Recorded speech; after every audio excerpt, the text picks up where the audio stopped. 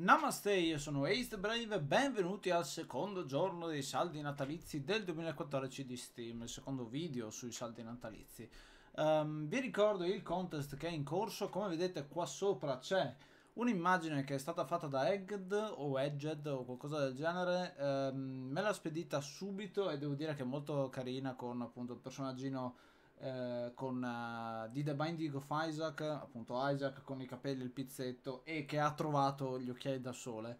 Eh, devo dire che è stato molto carino a fare questo, questo disegno, ci siamo sentiti appunto, eh, gli regalerò eh, Hell Yeah, che è un gioco che eh, ho visto fare da Manfredi Marcus Cron, penso, dovrebbe essere quello e non è niente male, ve lo consiglio anche Ehm, tra le varie cose. Vediamo un po' i saldi natalizi di oggi perché sono molto interessanti a vedere subito dalla, uh, dall'impostazione. Alcuni non li conosco, vi dico, quindi magari ditemelo anche voi se vi sono piaciuti, eccetera. Ad esempio uh, Rise of Nation e The Vanishing of Ethan Carter me ne parlano tantissimo, uh, però non ho ancora guardato nel dettaglio. Praticamente ve ne consiglierei tantissimi qua. Europa Universalis 4 è un simulatore così come lo è stato Crusader King, sempre della Paradox. La Paradox fa giochi fantastici ogni volta, a quanto pare, e ve lo consiglio tantissimo. È ambientato dopo Crusader King, praticamente, anche in un periodo credo che si sovrapponga. Eh, Crusader King, che è una delle serie che vedrete ritornare molto presto sul canale.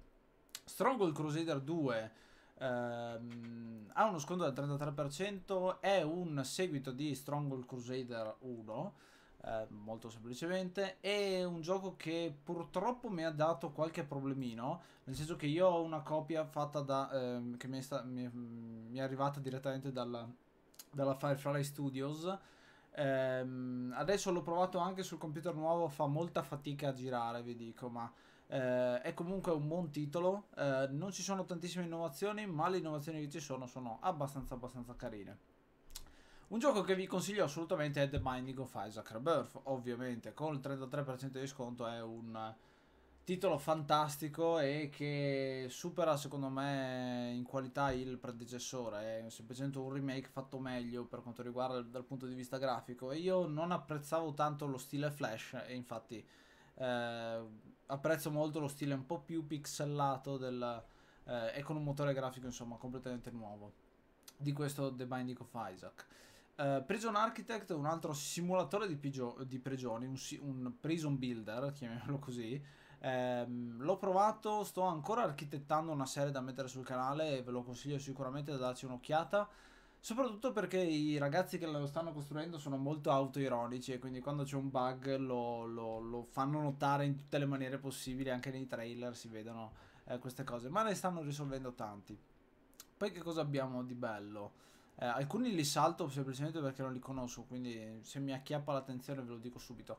Uh, tra poco ci sarà Risk of Rain ehm, in, in, in saldo, che ve lo consiglio, è un gioco molto carino in cui interpretate un personaggino che è molto molto molto piccolo e dovete sparare in giro eh, in una situazione molto molto arcade retro eh, però è molto carino perché ci sono un sacco di oggetti e quindi se vi piace The Binding of Isaac sicuramente vi piacerà anche Risk of Rain in un certo senso eh, perché hanno degli aspetti molto simili. Eh, c'è Mass Effect 2 la serie di Mass Effect è una serie che Uh, io conosco molto poco perché non l'ho mai giocato tutto, nel senso gioca- ho giocato il primo e neanche tutto purtroppo, quindi dovrò col tempo documentarmi meglio sulla cosa. Uh, Cities in Motion appunto è col 75% di sconto e uh, come voto di oggi voglio mettere tra le varie opzioni c'è City, come lo faccio a non votare Cities XL Platinum, il diretto concorrente di SimCity con degli aspetti leggermente diversi, un sacco di bug e un sacco di cose che non mi sono piaciute dal punto di vista commerciale. Il fatto che Cities XL Platinum è praticamente identico alla versione precedente, cambia che sono state aggiunte due mappe, qualcosa del genere.